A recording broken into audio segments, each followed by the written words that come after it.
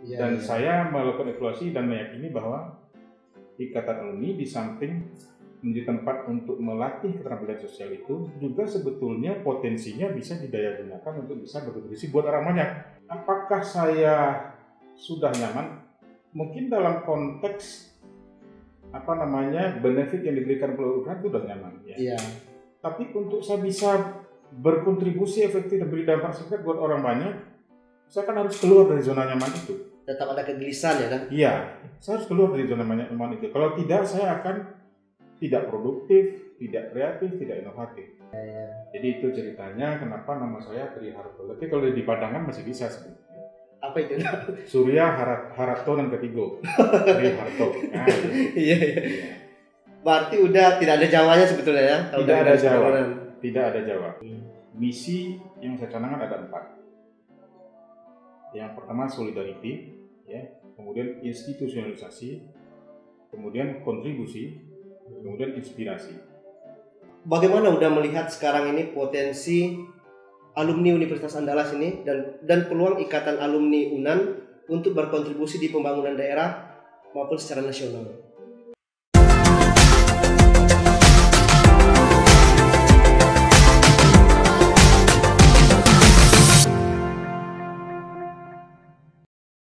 Assalamualaikum warahmatullahi wabarakatuh. Waalaikumsalam warahmatullahi wabarakatuh.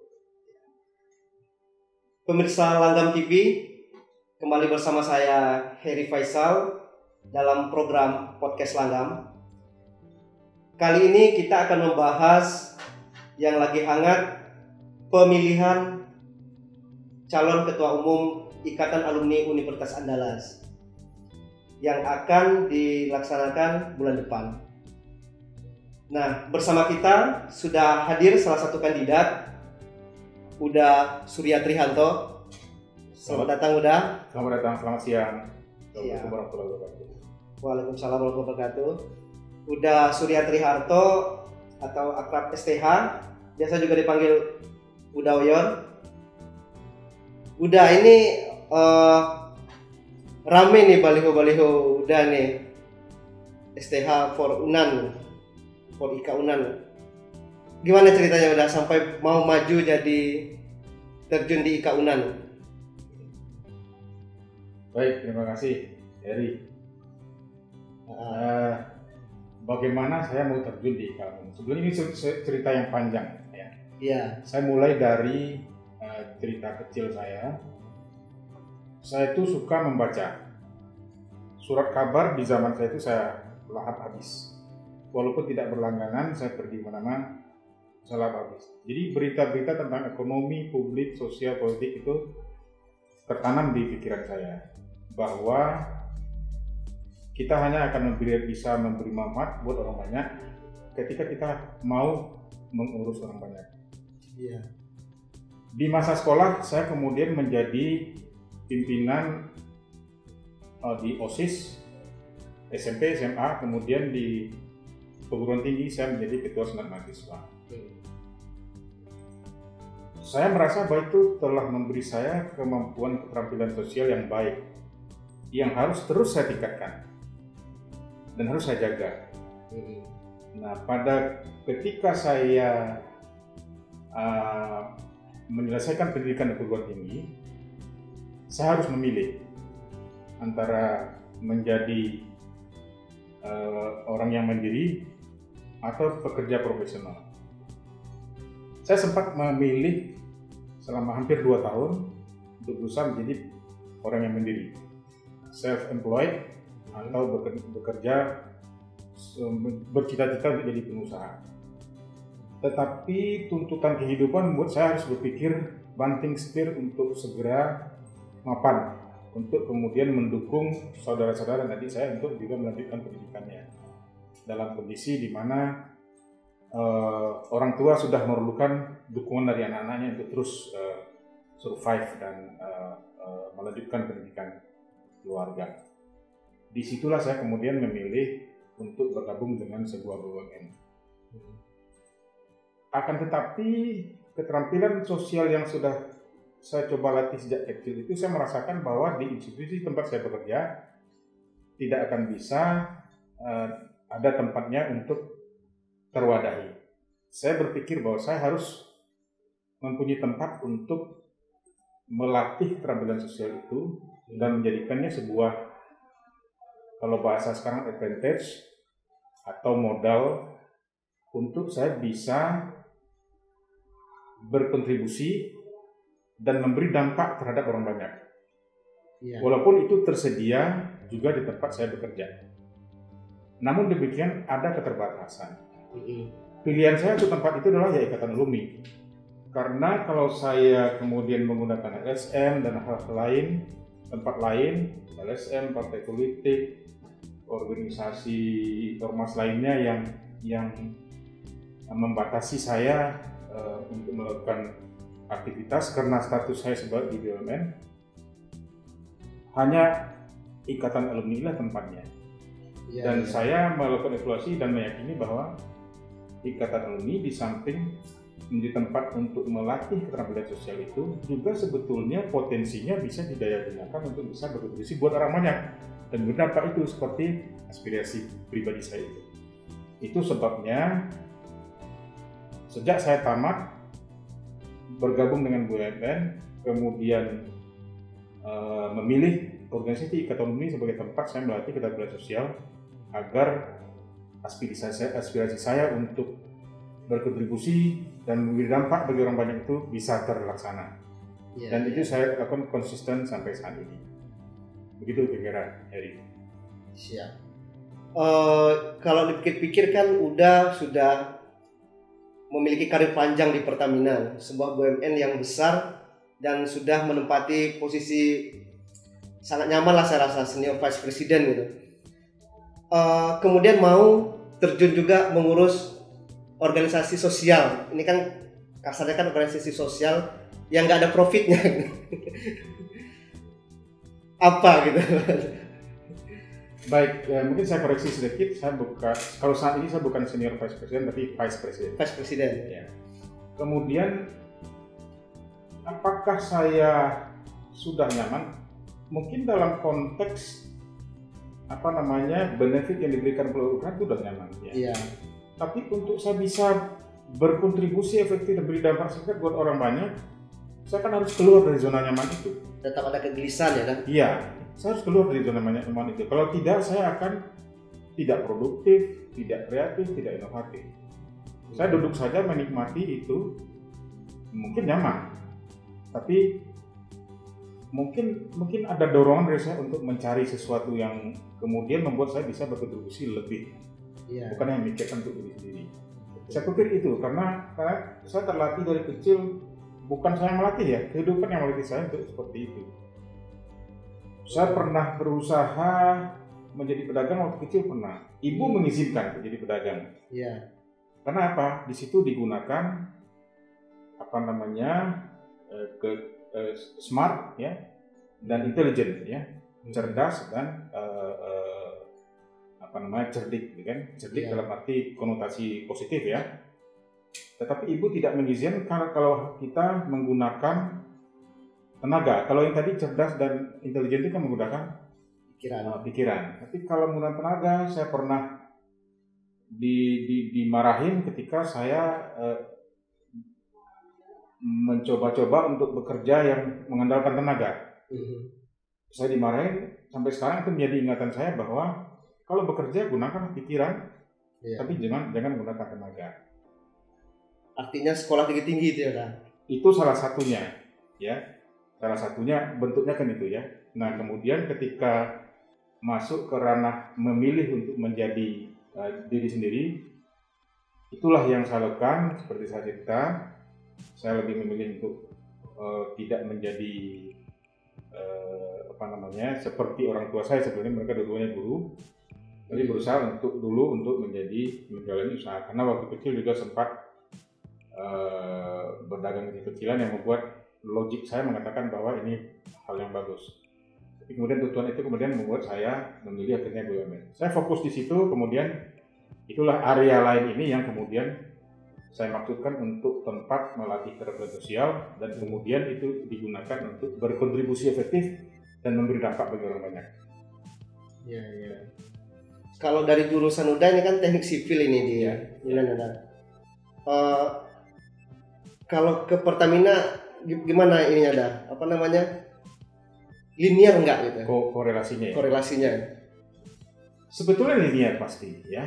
Jadi di dalam industri pendidikan Indonesia itu sebenarnya sudah dipahami bahwa ilmu sektoral Mm-mm. itu kemudian harus dilengkapi dengan ilmu manajemen. Iya. Sehingga ketika kita mengelola sebuah invensi atau penemuan yang ditemukan oleh eh, disiplin sektoral, kemudian bisa di, diperluas magnitude atau dampaknya. Melalui sistem manajemen, gitu kan? Saya ketika masuk Pertamina, saya mulai dari bidang engineering juga. Ya. Saya sudah pernah di engineering, saya pernah di operation, ya. Kemudian pernah juga di supply chain, pernah di sales and marketing, pernah di strategic planning. Tapi basis saya masuk memang memang, memang dari engineering, Iya, di mana teknik sipil menjadi bagiannya. Dan dalam perkembangannya saya menyadari bahwa itu harus ditunjang dengan keterampilan manajemen dan juga keterampilan interaksi sosial yang kebetulan saya ditempa sebagian kehidupan saya oleh itu. Itu sebabnya kemudian saya rasa bukan berarti kemudian yang apa saya yang saya jalani di BUMN ini tidak linear dengan ilmu saya enggak. Karena saya memang mulai masuk Iya. dan disiplin ilmu saya itu yang saya gunakan untuk bekerja dan menjadi bagian dari sistem keseluruhan. Dan sekarang mungkin eh, manajerial mungkin eh, eh, lebih ano ya lebih lebih manajerial role yang lebih banyak ya. Iya, lagi dibina. Tapi itulah perjalanan, Iya. a journey of uh, professionalism kan. Perjalanan profesionalisme memang harus begitu. Dimulai dari teknikal kemudian manajerial dan leadership. Iya. Udah ini jadi pertanyaan ini, udah STH Surya Triharto. Eh, pertanyaan oleh pemirsa ini, udah ini Jawa mana ini gitu? Namanya identik dengan Jawa. Boleh dijelaskan udah? Sangat bisa dijelaskan. Ibu adalah anak tunggal, hmm, ayah juga adalah anak tunggal. Iya. Eh, kemudian eh, saya anak ketiga. Di zaman itu tahun 60-an ya, hmm, Eh, karena kedua-duanya adalah guru sehingga harus mengajar anak-anak terpaksa ditinggalkan di rumah. Ditinggalkan dengan siapa? Kebetulan kita bertetangga baik dengan seorang eh, satu keluarga yang memang berasal dari Jawa suami istri Hmm, saya bisa sebut nama beliau adalah Bapak dan Ibu Murdi. Ya. Jadi saya tinggal ditinggal dengan keluarga sebelah hmm, dan ada hubungan baiknya. Bahkan saya sampai disusui, termasuk juga kakak saya, saya punya dua kakak, ya. Dan karena hubungan baik begitu, malah dalam memberikan nama mempertimbangkan saran dari beliau. Beliau memang lebih tua dari ayah dan ibu. Saya panggil papa dan mama, ya. Dan semua keluarga kami memakai nama Surya. Karena itu adalah singkatan dari nama papa dan mama. hmm, Ya. Baru belakangnya mendapatkan masukan dari tetangga yang dua-duanya adalah orang Jawa. Ya. Jadi saya kira clear itu adalah sebuah akulturasi dan juga hubungan kemanusiaan yang membawa ke arah situ. Arti nama saya adalah Surya Tri Harto. Surya Harta yang ketiga. Tapi Harto itu memang saran dari Tangga ini ya Pak? Nah, saya pernah disusui oleh Iya iya. ibu Murni. Jadi beliau ada ibu ibu berusaha. Sel- se- se- Selama beliau masih hidup, saya sempatkan datang ke beliau. Iya iya. Jadi itu ceritanya kenapa nama saya Tri Harto. Tapi kalau di Padangan masih bisa sebut. Apa itu? Surya Harat, Harato dan Ketigo. Tri Harto. Nah, Iya iya. Berarti udah tidak ada Jawanya sebetulnya ya? Tidak ada Jawa. keturunan. tidak ada Jawa. Suku saya bisa sebut Guci. Uci ya kan? Ya, datuk saya datuk orang kaya mulia. Iya iya. Karena kan wah, ini Jawa kalau persepsi orang kan dengan Ya. nama gitu. Iya. Tapi ternyata Minang Tulen. Iya. Di mana itu dah Minangnya? Eh, Di Tanah Datar, Oh, Kecamatan Tanah Sepuluh Koto, Kabupaten Tanah Datar. Tanah Datar. Suku saya Guci. Siap, siap, siap. Baik Bu Wisa, kita lanjut sedikit lagi. Eh, ini udah eh, terkait dengan Ika Unan. Karena udah sudah maju, apa sebenarnya tawaran udah untuk Ika Unan? Karena sebelumnya kan udah sudah bagian juga dari organisasi ini, gitu. dari pengurusnya. gitu. Baik, terima kasih Erik. Saya tidak ingin jumawa soal ini ya, tapi intinya adalah eh, yang pertama saya harus bertanggung jawab dengan visi misi yang sudah saya sampaikan. Kami ada forum bedah visi misi dan saya sudah sampaikan di sana. Misi yang saya canangkan ada empat. Yang pertama solidarity, ya, kemudian institusionalisasi, kemudian kontribusi, kemudian inspirasi. Solidarity artinya organisasi semacam ini harus membangun solidaritas anggotanya. Iya. Untuk kemudian itu solidaritas itu bisa menjadi kapital untuk melangkah ke berikutnya, yaitu institusionalisasi. Kenapa?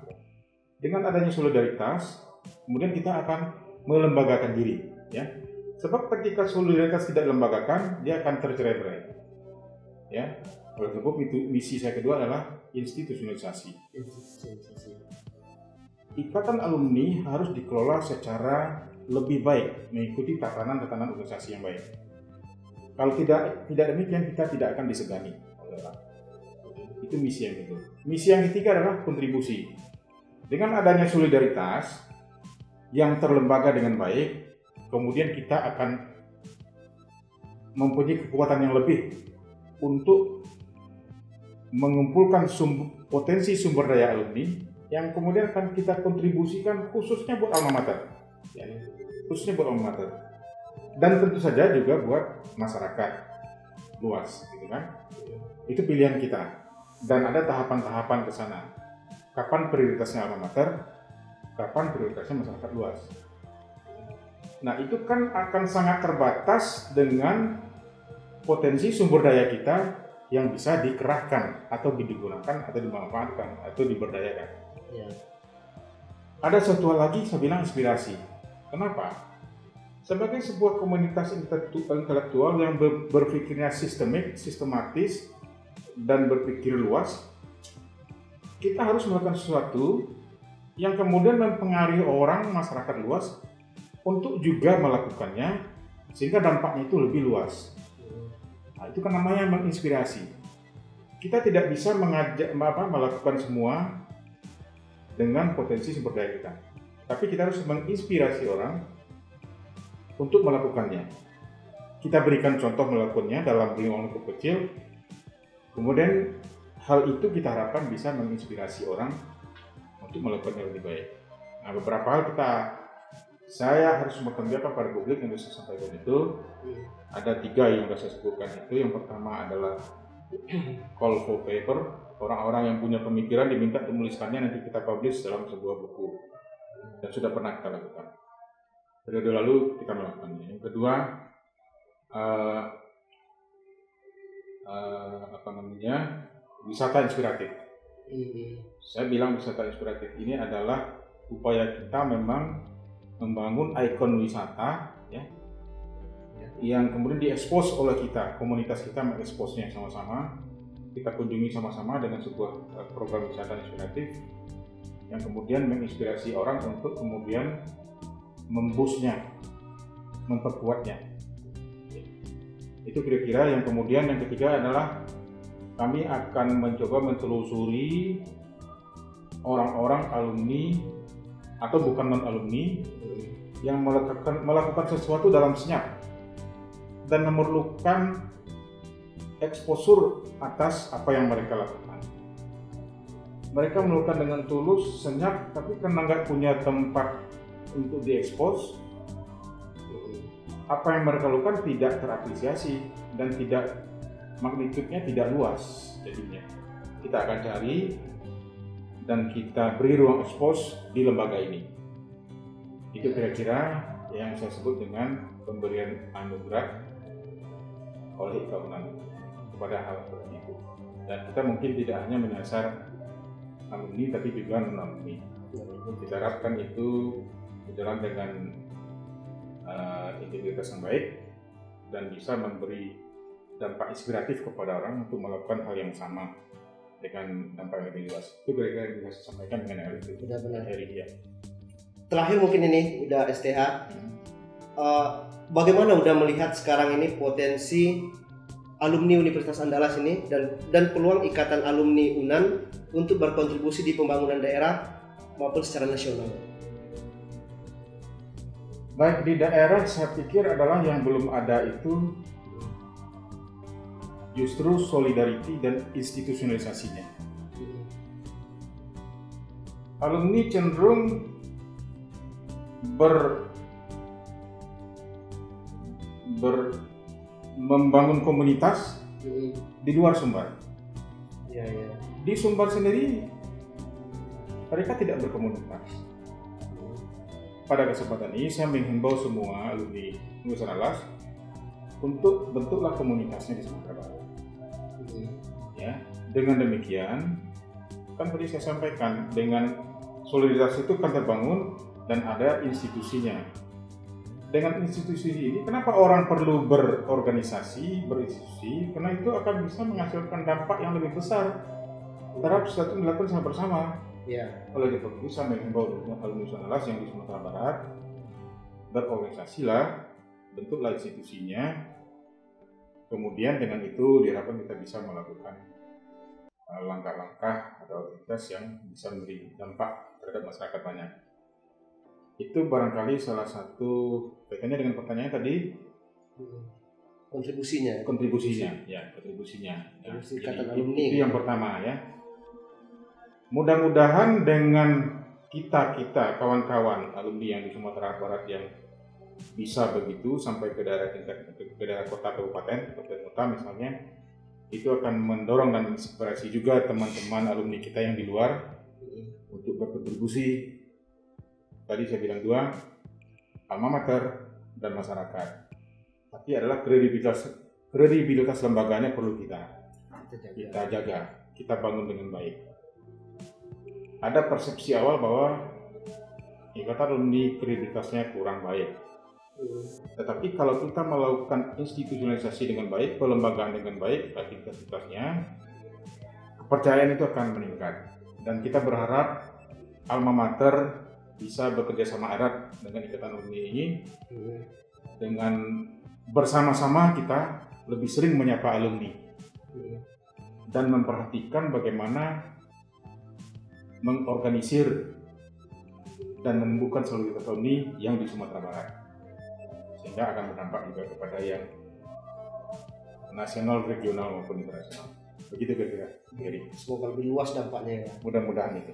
baik pemirsa eh, itu tadi perbincangan kita sama Uda STH semoga memang ikatan alumni Universitas Andalas memberikan banyak kontribusi bagi masyarakat Sumatera Barat pembangunan daerah maupun Indonesia secara luas. Semoga siapa pun nanti yang terpilih udah Ya, ini tetap Unan tetap jaya. Ika. Unan tetap solid dan bisa berkontribusi berkontribusi banyak insya Allah berkontribusi dan menginspirasi. nah itu. Terima kasih udah STH Sama-sama terima kasih dari Bila taufiq hidayah wassalamualaikum warahmatullahi wabarakatuh. Waalaikumsalam warahmatullahi wabarakatuh.